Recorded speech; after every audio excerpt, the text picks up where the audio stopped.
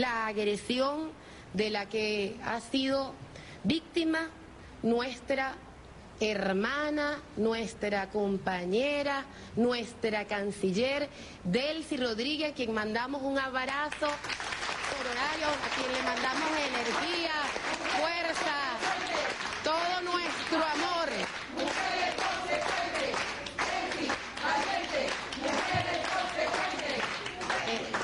Esta videoconferencia nacional eh, justamente porque ante este hecho terrible, vergonzoso de agresión, de violencia contra la figura de la canciller de un país, la canciller de nuestra patria Venezuela,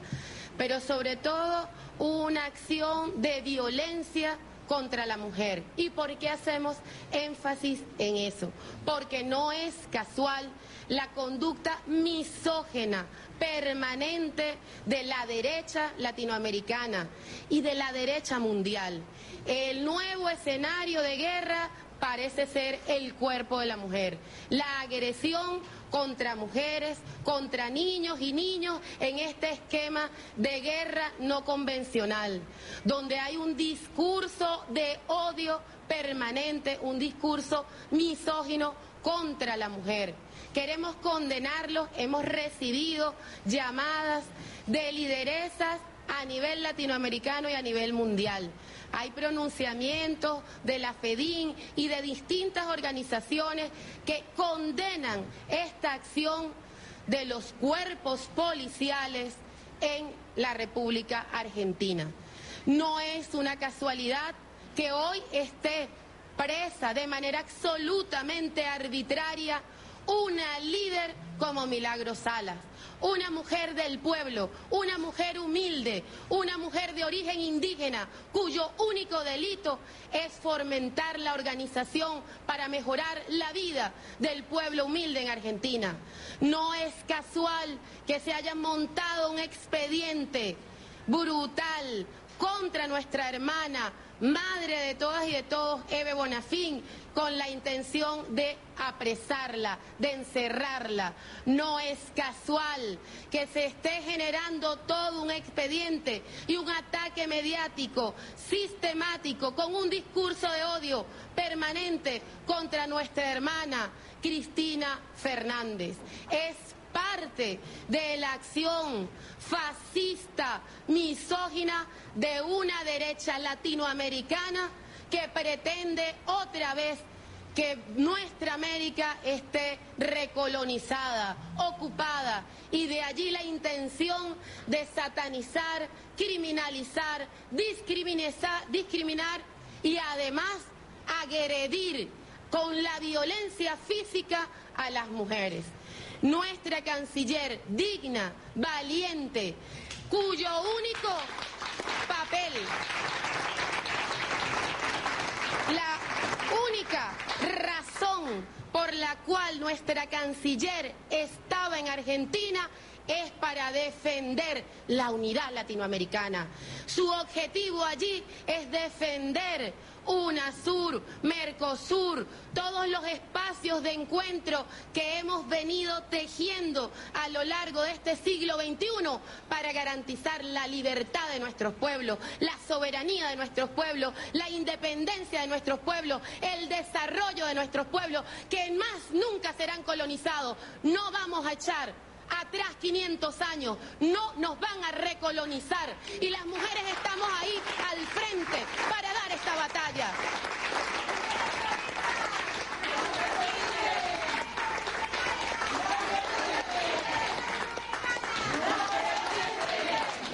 La de la crueldad, diría la investigadora Rita Laura Segato, argentina brasilera.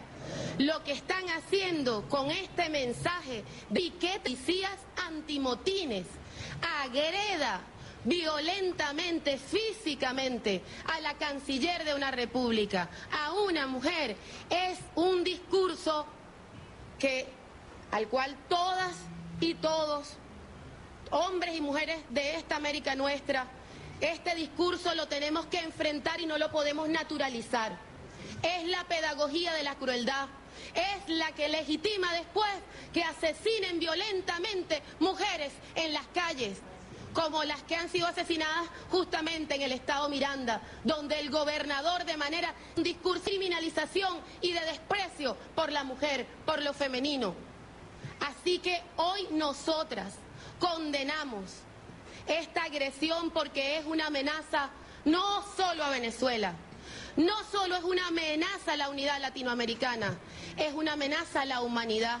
porque el único antagonismo que estaba produciendo nuestra canciller allá era el de tener una voz diplomática por la unidad. Ella no fue con armas, ella no fue con violencia, ella no asistió a dividir, a romper, a resquebrajar, ella fue a y a ella fue a llevar una palabra amorosa, solidaria a todo el Mercosur, porque ese es el papel de las mujeres que creemos en la vida, que creemos en la paz y que creemos en la independencia de nuestro pueblo. Por eso hoy nos pronunciamos y estaremos en las próximas horas haciendo un comunicado de las mujeres y que sabemos tenemos el respaldo no solo de las mujeres venezolanas, de las mujeres latinoamericanas, de las mujeres del mundo, que seguimos creyendo en el diálogo, en la diplomacia, en el encuentro y no vamos a tolerar de ninguna manera que se imponga de nuevo la lógica de apedrear a las mujeres, de violentar a las mujeres, de impedir que ellas y que nosotras todas tengamos la posibilidad de ser protagonistas. Nuestro protagonismo, el de nuestra canciller, es un protagonismo por la paz, por la unidad y por la vida. Y por eso la defendemos.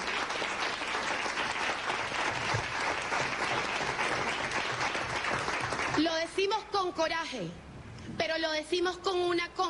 una convicción basada en amor profundo por esta patria, por la patria grande y por la vida de esta humanidad, merece no vivir en guerra. La lógica de esta pedagogía de la crueldad, de la barbarie que intenta imponer la derecha, el imperialismo norteamericano, que está desarrollando la guerra en el cuerpo de los inocentes, de las niñas, de los niños, de las mujeres de quienes no tienen ni armas, ni pretenden disputar violentamente, sino defender amorosa, pacíficamente, pero además con la fuerza y el coraje que nos da tener la razón y tener además la convicción de que nuestro destino es ser libres y para garantizar esa libertad tenemos que garantizar la unidad. Hoy más que nunca debemos ir a la unidad de las mujeres, no solo en nuestro país, a la unidad de la mujer latinoamericana, a la unidad de la mujer en el mundo. Las mujeres haremos un mundo más justo, más igualitario para la vida y para la paz. ¡Viva nuestra canciller!